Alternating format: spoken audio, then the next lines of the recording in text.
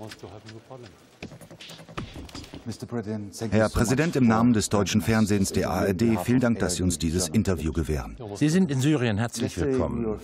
Gestern haben wir bei der Umayyaden-Moschee gefilmt und hatten dabei Gespräche mit verschiedenen Personen über den Waffenstillstand. Ein Mann, der Shawarma verkauft hat, hat gesagt, dies sei möglicherweise ein historischer Tag. Daher meine Frage, Herr Präsident, würden Sie zustimmen, dass dies ein historischer Tag war und erleben wir gerade einen Wendepunkt in der Geschichte Syriens? Sagen wir, ich hoffe es, anstatt dem zuzustimmen. Denn wir haben eine Einstellung der Feindseligkeiten vereinbart, wie in der vergangenen Woche angekündigt. Sprechen wir lieber von einem Hoffnungsschimmer für die Syrer und für uns alle. Aber gewöhnlich ist es ja bei einem Waffenstillstand beziehungsweise bei der Einstellung von Feindseligkeiten beziehungsweise überhaupt einer solchen Vereinbarung, schon wenn sie bilateral ist, schwierig, sie einzuhalten und zu sichern. Viel schwieriger ist es noch bei einer multilateralen Vereinbarung. Und mit multilateral meine ich, dass wir es mit mehr als 100 Gruppierungen von Terroristen und mit so vielen weiteren Ländern, von denen sie unterstützt werden, zu tun haben. Man könnte auch sagen, es gäbe hier zwei Lager mit widersprüchlichen Zielen, was die Einstellung Feststellung der Feindseligkeiten bzw. die Vereinbarung betrifft. Sagen wir also, dass wir hoffen, und wir werden das Unsrige tun, damit das Ganze funktioniert. Jedenfalls reicht der gute Wille sicher nicht. Was tun Sie, Sie und die syrische Regierung, um die Stabilität des Waffenstillstands zu sichern? Er hat ja erst vor weniger als 48 Stunden begonnen. Und da Sie schon seit einigen Tagen im Lande sind, wissen Sie, glaube ich, dass die Terroristen den Waffenstillstand von der ersten Stunde an gebrochen haben. Die syrische Armee dagegen hat auf Vergeltung verzichtet, um die Chancen für ein Überleben der Vereinbarung offen zu halten. Das können wir für uns aus tun. Aber am Ende hat alles seine Grenzen. Es kommt auf die andere Seite an. Warum hat es so lange gebraucht, eine Vereinbarung zu erreichen? Das Zustandekommen der Vereinbarung hat gar nicht so lange gedauert. Die anderen Länder, die die Terroristen betreuen, haben so lange gebraucht, daran zu arbeiten. Vorwiegend die Amerikaner. Sie reden erst seit wenigen Monaten darüber. Wir haben von Anfang an diesen Prozess auf lokaler Basis begonnen und sprechen hier von lokaler Aussöhnung. Dort, wo die Feindseligkeiten eingestellt wurden, wo den Militanten eine Amnestie gewährt oder angeboten wird, damit sie sich der syrischen Armee anschließen oder in ihr normales ziviles Leben zurückkehren können. Wir haben diesen Prozess also früher, während der letzten Jahre eingeleitet. Und er war in vielen Gegenden erfolgreich. Diesmal jedoch ist alles, wie bereits erwähnt, ganz anders und viel umfassender. Es ist zwar keine vollumfassende, aber eine umfassendere Vereinbarung. Vor drei Tagen waren wir in Dareya und haben auf der anderen Seite schwere Bombardierungen beobachtet. Ich meine, dies ist eines der Probleme in Syrien. Wer entscheidet darüber, ob man Terroristen wie den sogenannten Islamischen Staat oder die Al-Nusra-Front bekämpft oder ob es sich um aufständische Rebellen handelt? Sie sind für mich der Einzige, der das definieren kann. Ich nehme also an, dass der Frieden in Ihren Händen liegt. Was meinen Sie mit der Frieden in meinen Händen? Es ist doch Ihre Entscheidung, ob Sie zuschlagen oder nicht. Und Sie entscheiden, wer oder was die anderen sind. Da haben Sie recht. Bei einer solchen Vereinbarung müssen Sie sich zwei Fragen stellen. Was sind die Landkarten, das heißt die militärischen Karten, von denen Sie ausgehen, und welche sind die Kriterien oder sagen wir die Mechanismen, nach denen der Waffenstillstand zu überwachen ist? Zu diesem Zeitpunkt ist es mehr als 24 Stunden her, dass wir mit der Einstellung der Operation begonnen haben, und bisher verfügen wir über keine Karten. Die Vereinbarung ist damit noch nicht ausgereift. Wenn es soweit ist, kann man als eine der verantwortlichen Parteien auch Verantwortung für das Überleben der Vereinbarung übernehmen.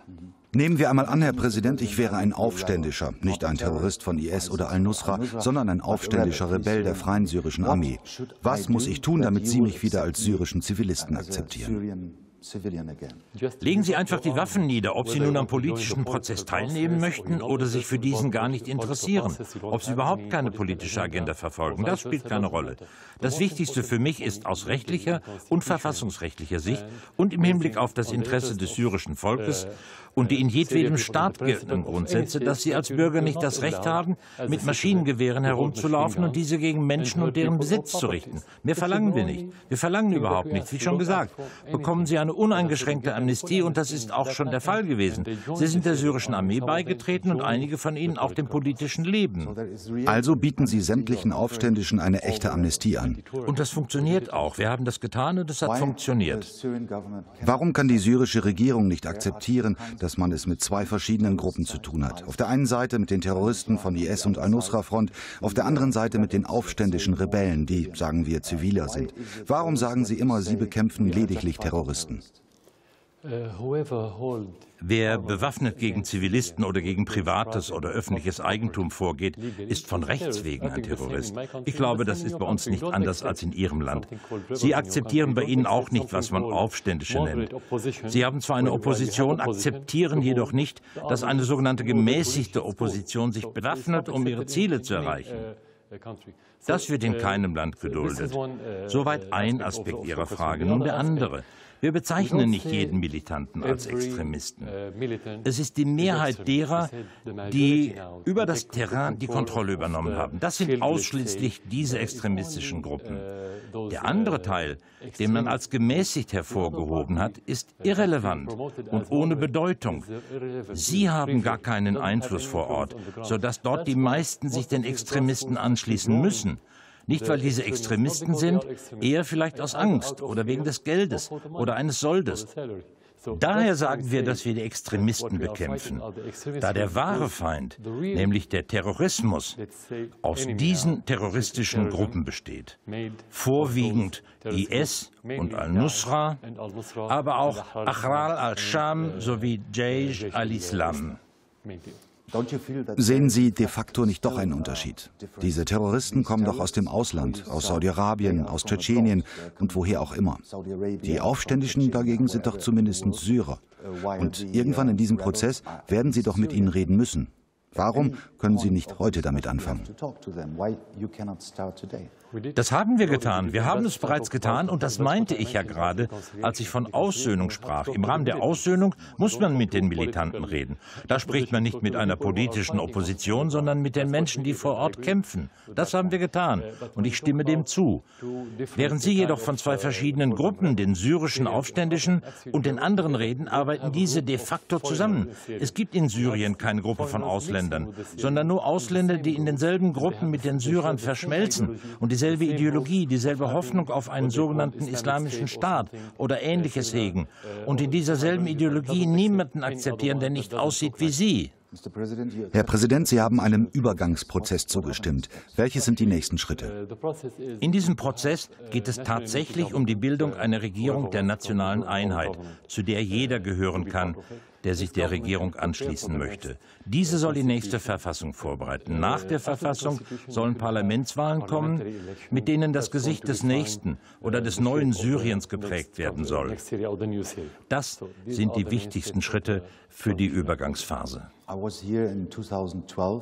Ich war im Jahre 2012 hier, als die letzten Parlamentswahlen stattfinden. Wie können Sie in Zeiten des Bürgerkriegs Wahlen abhalten? Zunächst einmal gibt es keinen Bürgerkrieg, da die Definition nicht stimmt. In einem Bürgerkrieg sind gewisse Linien zu erkennen, gesellschaftliche Linien, je nach religiöser oder ethnischer Zugehörigkeit oder andere vergleichbare Linien. Diese haben wir derzeit jedoch nicht, da in den durch die Regierung kontrollierten Gebieten das gesamte Spektrum der syrischen Gesellschaft in all seiner Farbenvielfalt abgebildet ist. Mit der Definition Bürgerkrieg liegen Sie daher nicht richtig. Tatsächlich muss es heißen, die Terroristen gegen den Rest. Zweitens zu den Wahlen. Die sind ja zunächst einmal keine Freizeitbeschäftigung und folgen nicht aus der Auffassung des Präsidenten oder aus der Stimmung in der Regierung.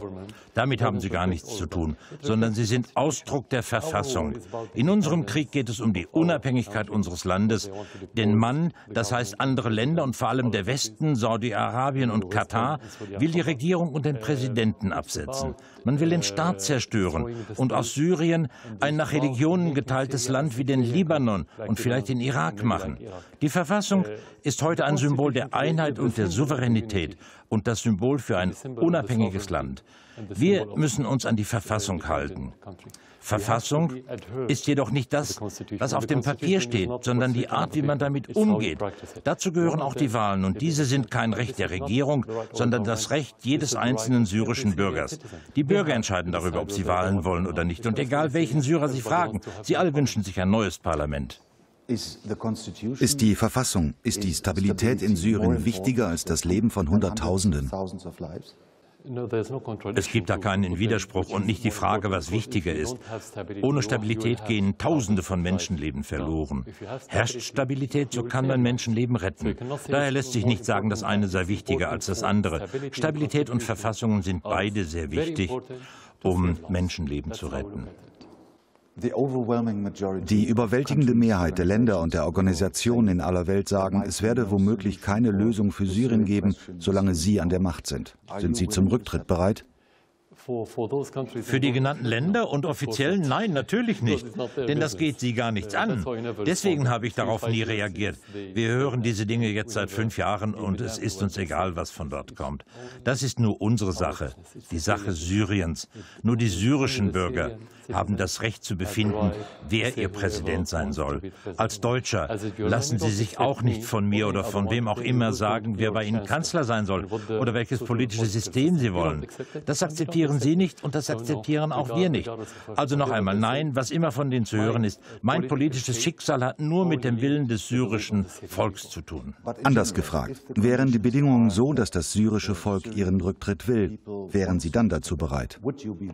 Ja, natürlich, keine Frage. Wenn das syrische Volk will, dass ich diesen Platz räume, dann habe ich das sofort und ohne Zögern zu tun. Wollen Sie als Offizieller, als Präsident, als gewählter Regierungschef oder was auch immer erfolgreich sein, dann brauchen Sie die Unterstützung der Öffentlichkeit. Ohne diese erreichen Sie gar nichts. Was könnten Sie dann überhaupt anfangen? Die Dinge sind also eng verknüpft, der Wille der Bevölkerung und ihre Aussichten, etwas zustande zu bringen bzw. erfolgreich zu sein. Gibt es schon Vorstellungen über den Zeitpunkt für diesen Schritt? Sie wissen sicher, dass viele Termine im Raum stehen. Einer kommt aus der Umgebung des Büros von UN-Sondergesandten de Mistura. Dort heißt es, der wahrscheinlichste Termin sei das Jahr 2018. Nein, nein, das geht die doch gar nichts an. Es gibt dazu auch keinerlei Plan. Wie schon gesagt, ist dies eine rein syrische Frage, die ausschließlich unter Syrern zu erörtern ist. Würden Sie zustimmen, dass wir in Syrien ein humanitäres Desaster erleben? Natürlich, keine Frage. Warum hat es dann so lange gedauert, bis Sie einen uneingeschränkten Zugang zu den belagerten Gebieten in Syrien gewährt haben?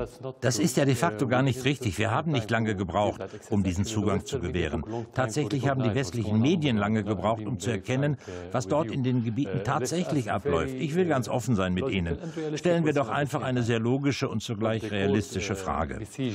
Was Sie als belagerte Gebiete bezeichnen, wird schon seit Jahren von der Armee umzingelt. Und aus diesen Gebieten heraus wird nach wie vor die Armee, aber auch Städte in der Umgebung und so weiter bekämpft und bombardiert. Nun die Frage, wie sollten wir diese Gebiete von der Nahrungsmittelzufuhr abschließen, wenn wir sie doch nicht an der Beschaffung von Waffen hindern können? Ist das logisch? Das funktioniert so nicht. Entweder verhängt man ein umfassendes Embargo oder man bringt gar keines zustande. Wir verhängen also aus zahlreichen Gründen kein Embargo. Nicht nur aus humanitären Gründen und wegen der Werte, an die wir glauben, oder auch wegen unserer Aufgabe als Regierung, die für alle Syrer verantwortlich ist, sondern auch aus einem weiteren Grund. Man würde damit nämlich die betroffene Zivilbevölkerung den Terroristen in die Arme treiben. Noch ein praktisches Beispiel. Wie könnten wir ein Embargo über die von Ihnen genannten Städte und andere erst seit kurzem erwähnte Städte verhängen und gleichzeitig Löhne in das durch IS kontrollierte Raqqa schicken? Auch Impfstoffe senden wir nach wie vor dorthin. Wie sollten wir hier ein Embargo verhängen und an anderen Orten nicht? Das Ganze ist widersprüchlich. Was Sie sagen, ist nicht realistisch.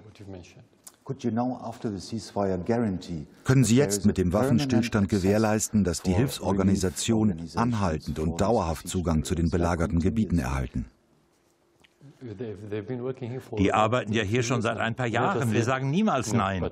Aber deren Tätigkeit sollte über die Regierung laufen. Sie können nicht so tun, als gäbe es keine Regierung. Also wir sagen nie Nein. Aber man darf natürlich auch nie die Realität vor Ort vergessen. Wenn Kampfhandlungen laufen, dann entstehen daraus womöglich Hindernisse und mitunter gibt es auch Kontroversen zwischen Vertretern der Regierung und dieser Organisationen. Im Sinne einer politischen Entscheidung haben wir aber keinerlei Probleme damit, dass diese, sagen wir, Hilfsmaßnahmen jeden Ort in Syrien erreichen können. Wir unterstützen das. Sie haben die Wahlen in Syrien erwähnt, die möglicherweise im April anstehen. Hätten Sie es dann nicht nur mit einem Teil der syrischen Bevölkerung zu tun, nachdem so viele gegangen sind? Und gegangen sind sie übrigens, weil sie dem Chaos in Syrien entrinnen wollten. Na gut, aber wenn Menschen das Land verlassen, dann bedeutet das nicht, dass das Land ohne eigene Bevölkerung dasteht. Ich meine, schließlich ist Syrien ja nicht menschenleer und die Mehrheit der Syrer lebt nach wie vor hier im Land. Es ist eben nicht umgekehrt, wie der Diskurs vor den Präsidentschaftswahlen lautete. Die ganze Welt war seinerzeit überrascht, dass jene Flüchtlinge in sehr hohen Zahlen von außerhalb Syriens an den Wahlen teilnahmen. Ich glaube, dass jeder Syrer in seinem Land etwas Neues sehen möchte, weil solche Veränderungen den Menschen Hoffnung machen. Und das ist ganz natürlich in jeder Kultur und in jedem Land. Schätzt die syrische Regierung die Rolle Deutschlands, das so viele Syrer aufnimmt? Aus humanitärer Sicht natürlich. Wie könnten wir es nicht gut finden, wenn Flüchtlinge aufgenommen werden, die ihr Land aufgrund der herrschenden Not verlassen? Aber wäre es nicht noch humanitärer, diesen Menschen ein Verbleiben in ihrem Land zu ermöglichen? Denn wen immer Sie auch fragen mögen, Sie werden hören, dass alle zurück möchten in ihr Land. Also wäre es doch weniger kostspielig, eine klügere und vorsichtigere Politik im Hinblick auf den Syrien-Konflikt anzunehmen oder zu verfolgen, damit diese Menschen weiterhin in ihrem Land leben können. Dazu sollte man gegen den Terrorismus angehen und sich für Stabilität einsetzen und sich nicht in Angelegenheiten des Landes einmischen. Das wäre aus humanitärer Sicht besser. Spielt Deutschland allgemein gesprochen bezüglich der gesamten Syrien-Frage eine besondere Rolle oder ist es lediglich ein weiteres Land wie die USA oder Saudi-Arabien? Wir hoffen, dass jedes Land eine Rolle spielen kann, insbesondere die Länder Europas und die wichtigsten Länder in der EU, wie Deutschland mit der stärksten Wirtschaft, das vermutlich in der EU nicht nur wirtschaftlich, sondern auch politisch die führende Rolle spielt. Praktisch gesprochen sehen wir eine solche Rolle allerdings noch nicht da dies den entsprechenden Willen voraussetzt und der Wille mit Unabhängigkeit zu tun hat. Es stellt sich die Frage, wie viele europäische Politiker von der Haltung der USA unabhängig sind. Was wir bisher erkennen können, ist nicht mehr als die Kopie dessen, was amerikanische Politiker sagen und dessen, was sie tun. Das ist alles, was wir erkennen können. Ich kann also nichts zu einer möglichen Rolle sagen, wenn die Unabhängigkeit fehlt. Während meines letzten Syrienaufenthalts war ich in Aleppo. Diesmal war ich in Homs. Es bieten sich dort unglaubliche Bilder, Bilder der Apokalypse. Ich habe keinen Zweifel daran, dass die syrische Armee Mitschuld daran trägt, was sich dort abspielt. Eine persönliche Frage, Herr Präsident. Können Sie nachts noch schlafen? Are you able to sleep at night? Äh, die wichtigste Frage ist doch, kann ich arbeiten? Ob jemand schläft oder nicht, spielt keine Rolle. Wichtig für die Menschen, und diese Frage stellen sie sich, ist doch, was der Präsident tun kann. Wie viele der Terroristen können wir loswerden oder dazu bewegen, in ihr normales Leben zurückzukehren? Daran arbeiten wir Tag für Tag. Wenn wir also nicht zum Schlafen kommen, dann nicht, weil wir Schlafstörungen hätten. Wir schlafen nicht, weil wir arbeiten müssen. So sieht es aus. Die Hilfsorganisation Ärzte ohne Grenzen sagt, im Jahre 2015 seien 94 95 Krankenhäuser mit staatlicher Hilfe bombardiert worden. Wie ist so etwas möglich? Sie können doch nicht allen Ernstes behaupten, dass diese, sagen wir, Kriegsverbrechen lediglich durch die US-geführte Koalition verübt wurden. Einen Anteil daran hatten doch auch Russland und Syrien. Tatsächlich wissen wir bei dem einen, insbesondere bei diesem besonderen Zwischenfall, nicht, wer verantwortlich war. Aber wenn wir das wollten, hätten wir schon lange die Gelegenheit dazu gehabt. Wir sind doch hier und hätten das immer schon machen können. Es gibt für uns keinen Grund, ein Krankenhaus anzugreifen. Natürlich ist das, was Sie als Verbrechen erwähnen, ein Verbrechen. Aber es kommt darauf an, von welchen Kriterien man diese Definition abhängig macht. Nach unseren Kriterien handelt es sich um ein Verbrechen, nicht jedoch nach den Kriterien des Westens. Und dies aus einem einfachen Grund. Der Westen hat bisher den Krieg gegen den Irak im Jahre 2003, währenddessen mehr als eineinhalb Millionen Menschen umgebracht wurden, zu keinem Zeitpunkt als Kriegsverbrechen eingestuft. Ebenso wenig hat man das im Jemen getan, wo die Saudis Gräueltaten begingen, und auch nicht in Syrien. Wenn die Aufständischen Tausende von Unschuldigen mit Granaten und Selbstmordanschlägen umbringen, spricht man dort offen gesagt auch nicht von Verbrechen. Es ist also eine Frage der Kriterien. Nach den unsrigen ist jeder ein Verbrecher, der solche Taten verübt. Zur Klarstellung, die meisten Kriegsbeobachter sagen, die syrische Armee und die russische Luftwaffe seien für das Bombardieren von Schulen und Krankenhäusern verantwortlich, und zwar nicht als Kollateralschaden, sondern als Teil ihrer Kriegsstrategie. Lastet da nicht ein hohes Gewicht auf ihren Schultern? Angesichts eines solchen Diskurses müssen Sie sich eine einfache Frage stellen. Was würde uns das bringen? Welches Interesse könnten wir daran haben?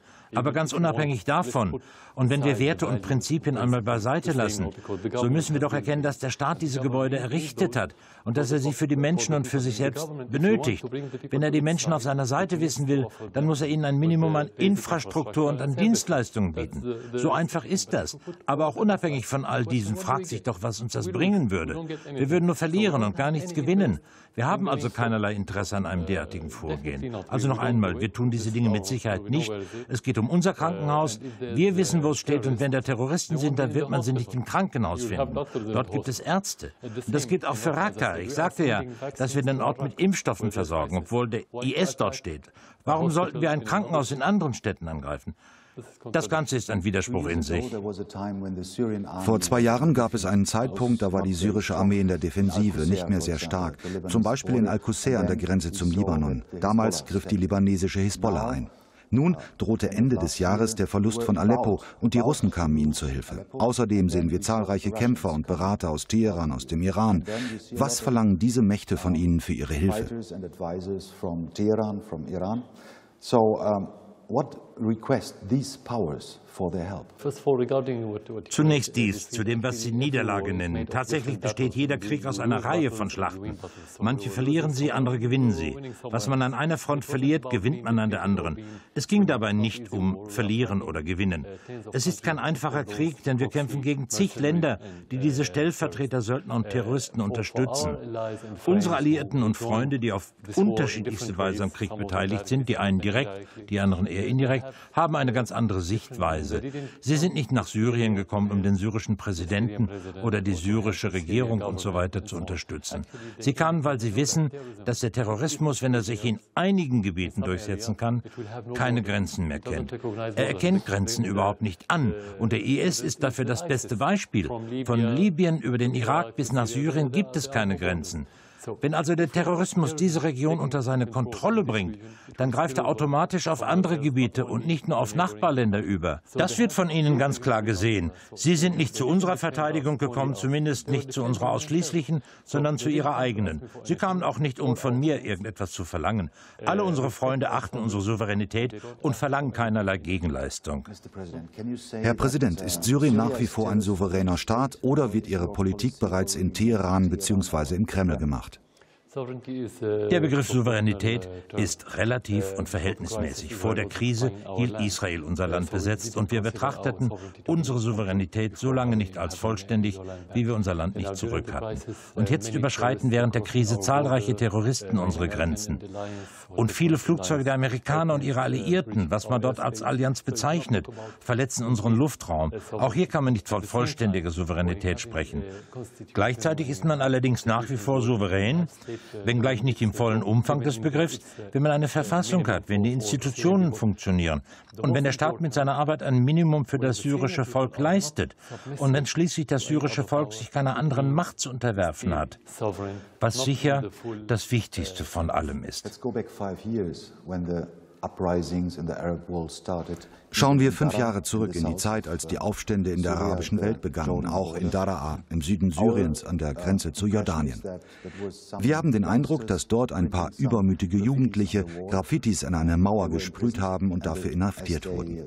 Als ihre Eltern sie zurückhaben wollten, haben die Sicherheitskräfte mit äußerster Härte zurückgeschlagen. War es klug, derartige Verrücktheiten von jungen Menschen so hart zu bekämpfen und damit den Startschuss für den Bürgerkrieg zu geben? Zunächst einmal hat es die ganze Geschichte gar nicht gegeben. Sie ist einfach nicht passiert, sondern war reine Propaganda. Wir haben davon gehört, aber nie auch nur eines dieser Kinder gesehen, die ins Gefängnis gekommen sind. Es war eine Lügengeschichte. Angenommen, das Nicht-Geschehene sei geschehen. Vergleichen wir es dann doch einmal mit den Ereignissen in den USA im vergangenen Jahr, wo alle über die Tötung vieler Schwarzer durch die Polizei diskutierten, die in den USA von sehr vielen Menschen verurteilt wird. Hat da etwa irgendjemand den Leuten gesagt, sie sollten sich Maschinengewehre besorgen und andere Menschen umbringen, nur weil der Polizeibeamte einen Fehler begangen hat? Das ist natürlich keine Entschuldigung. Also geschehen ist das Erwähnte nicht. Wäre es jedoch geschehen, so wäre es kein Vorwand für irgendjemanden, sich zu bewaffnen, gegen die Regierung zu kämpfen und unschuldige Zivilisten zu töten. Und die nächste Frage, welche Gegenmaßnahmen würden Sie ergreifen, wenn auf Ihren Straßen Menschen andere Menschen umbringen und sich an fremdem Besitz vergreifen? Sagen Sie denen, macht was ihr wollt, wir sind offen für alles und reagieren werden wir auch nicht? Das wäre nicht in Ordnung. Wir haben da keine Wahl. Wir müssen ihnen Einhalt gebieten und sie am weiteren Töten hindern. Andererseits kommen sie mit Maschinengewehren und da können wir sie nicht mit Luftballons bekämpfen. Gegen diese militanten Kräfte können wir nur mit unseren eigenen Waffen angehen. Eine Alternative hatten wir nicht.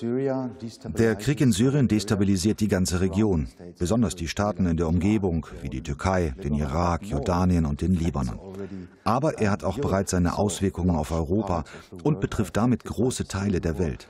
Was wollen Sie unternehmen, um diesem Albtraum ein Ende zu setzen? Es geht hier nicht nur um Syrien. Unsere Aufgabe ist zweifach gelagert. Und so haben wir seit dem Ausbruch des Konflikts zwei verschiedene Wege verfolgt. Erstens den Dialog mit allen Seiten, mit Ländern, Staaten, politischen Gruppierungen, Militanten und so weiter, um die Stabilität zu erhalten oder wiederherzustellen. Den zweiten Weg bildet die Bekämpfung der Terroristen, die ihre Waffen nicht niederlegen wollen. Dazu gibt es keine Alternative. Es fragt sich jedoch, wozu die anderen Parteien bereit bereit sind.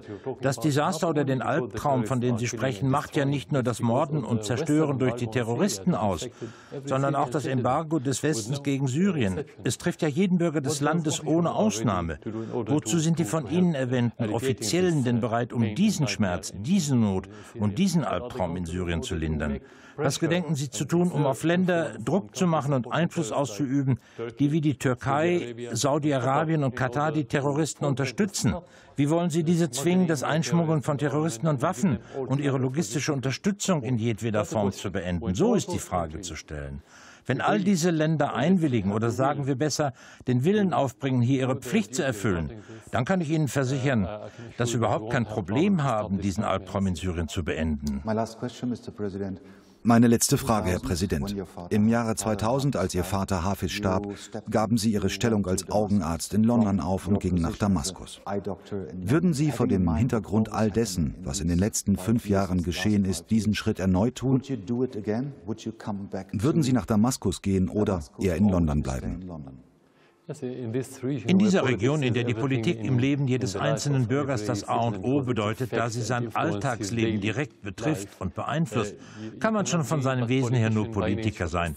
Das gilt für jeden Bürger Syriens angesichts unserer Lebensumstände. Und natürlich spüre ich als Spross einer politischen Familie dieselbe Leidenschaft für die Politik.